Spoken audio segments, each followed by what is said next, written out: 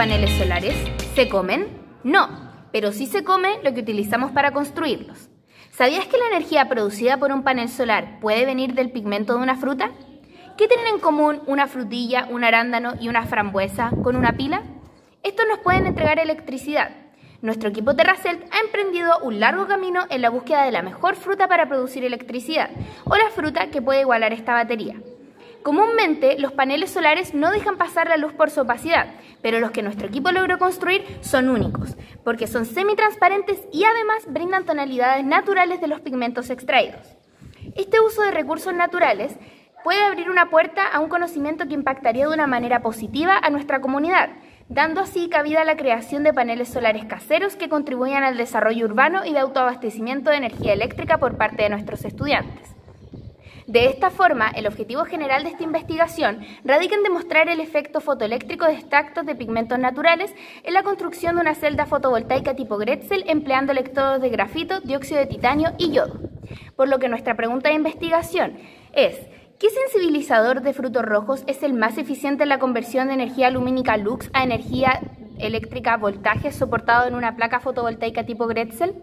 Entonces, nuestra hipótesis es que las longitudes de onda más cercanas a los 740 nanómetros son las que resultarán con una mayor capacidad de transformación de energía lumínica a eléctrica.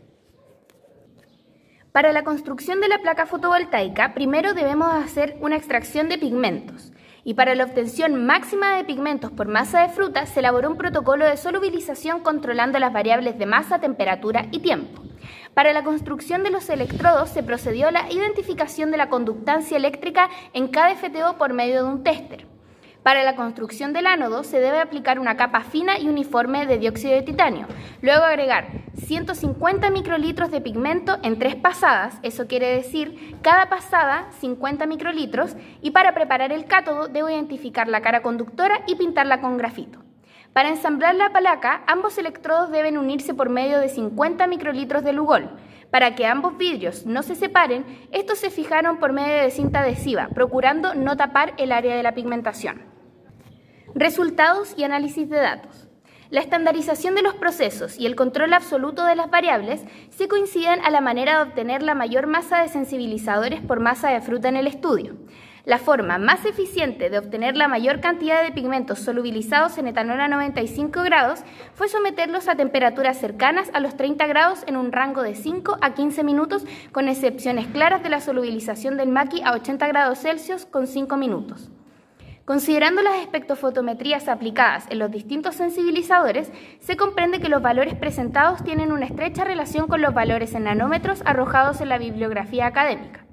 De esta manera, entendemos que mientras mayor voltaje, mayor intensidad o amperaje tendrá un circuito, lo que se traduce en un mayor flujo de conducción de electricidad por segundos, mientras que si un circuito posee mucha resistencia, por más alto que sea su voltaje, intensidad o amperaje se verán afectados negativamente.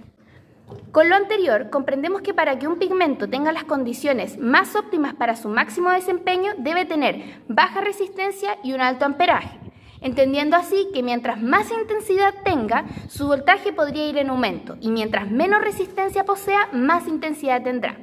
Por lo tanto, las longitudes de ondas más cercanas a los 740 nanómetros son las que resultaron con una mayor capacidad de transformación de energía eléctrica a energía lumínica. En base a lo expuesto, por nuestra hipótesis, determinamos que los extractos de pigmentos más cercanos a los 740 nanómetros obtenidos de la granada, frambuesa y arándano corresponden a las especies de mayor capacidad de transformación de energía lumínica a voltaje siendo el extracto de frambuesa el que resultó con mayor valor de voltaje de todas las especies y el segundo mayor de resistencia eléctrica. También destacamos los pigmentos que formaron al extracto de la granada como uno de los mejores tres pigmentos debido a su alto amperaje. Frente a la resistencia, situamos en principal atención los valores de la resistencia obtenidos de los pigmentos de la mora, siendo este el de menor longitud de onda y el que ofrece menor resistencia de todas las especies. Por lo tanto, ¿Qué sensibilizador de frutos rojos es el más eficiente en la conversión de energía lumínica a energía eléctrica soportados en una placa fotovoltaica tipo Gretzel? El sensibilizador o extracto de pigmento con la mayor eficiencia de conversión de energía lumínica a eléctrica es la frambuesa, pero por lejos el que tiene mejor capacidad de conducción es la granada. Eso es Terracel, somos del Colegio Terra Austral Oeste, gracias por su atención.